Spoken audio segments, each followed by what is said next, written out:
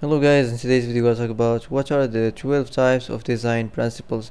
there are 12 basic principles of design. Uh, contrast, balance, emphasis, proportion, uh, hierarchy, uh, repetition, rhythm, uh, pattern, white space, movements, variety, and unity. So that's for today. I hope this is the answer you've been looking for and see you in the next video.